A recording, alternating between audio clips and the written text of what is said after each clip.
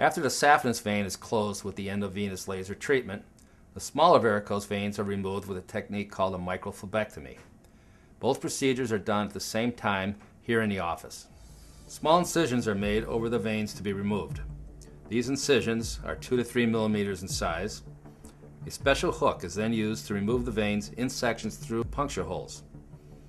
These incisions are small enough that they do not require sutures, and patients are usually fully recovered in one week.